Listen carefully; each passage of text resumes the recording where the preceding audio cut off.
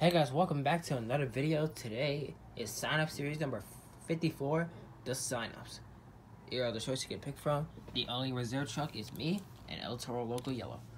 The, we have three new trucks making their debut.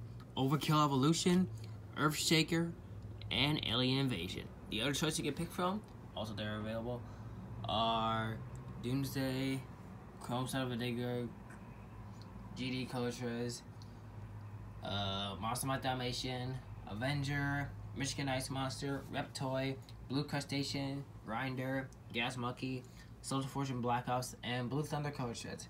So those are your field trucks. I'll see you guys for the event.